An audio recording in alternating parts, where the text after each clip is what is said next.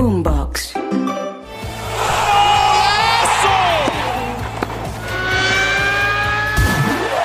Esto es Titulares Deportivos. Bienvenidos. Hola, soy Octavio Sazo y esto es Titulares Deportivos en la noche de este viernes 24 de noviembre.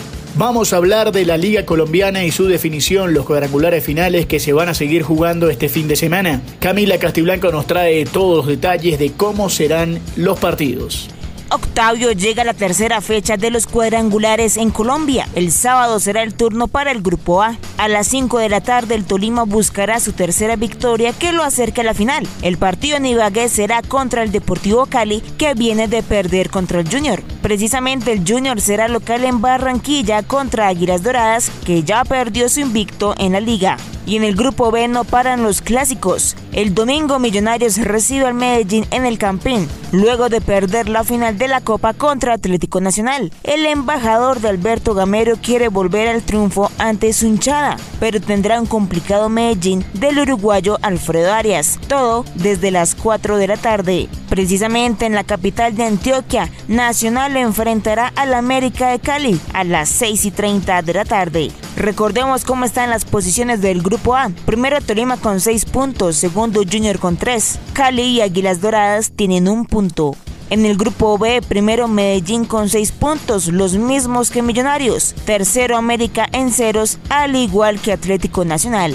Y este viernes hubo fútbol en España, el Alavés derrotó 3 goles por 1 al Granada, mientras tanto en Alemania ganó el Bayern Múnich 1 a 0 frente al Colonia. El PSG en Francia goleó 5 a 2 al Mónaco, mientras tanto en Brasil Corinthians perdió en casa 5 a 1 frente a Bahía en los resultados más importantes de este día viernes. Mientras tanto les contamos lo mejor de este fin de semana para que ustedes estén atentos de lo que va a suceder en el fútbol mundial.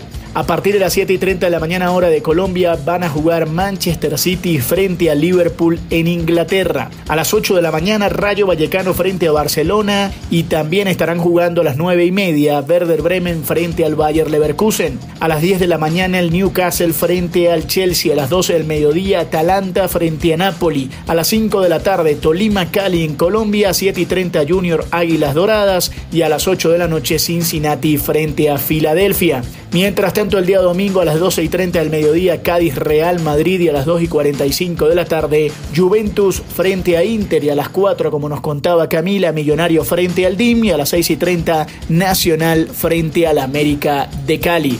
Pero hablamos ahora de la Fórmula 1 y su definición. Camila Castiblanco tiene todos los detalles. Y la temporada de la Fórmula 1 llega a su final en Abu Dhabi. Pese a que ya está definido el campeón de la Fórmula 1 con el neerlandés Max Verstappen, hay duelos muy llamativos por el subcampeonato de constructores, pues Red Bull ya se quedó con el título en esta categoría y Mercedes y Ferrari buscan el segundo puesto. Este domingo será la carrera desde las 8 de la mañana hora colombiana. Así está el puntaje de los pilotos en la Fórmula 1. Primero Verstappen con 549, segundo Checo Pérez con 273, tercero Hamilton con 232 y cuarto y quinto los españoles Carlos Sainz y Fernando Alonso, ambos con 200 puntos. Y cambiamos de deporte y hablamos de baloncesto. Y atención porque Orlando dio la sorpresa y le ganó 113 a 96 a Boston. Phoenix sigue ganando 110 a 89 frente a Memphis. Los New York Knicks derrotaron 100 a 98 a Miami.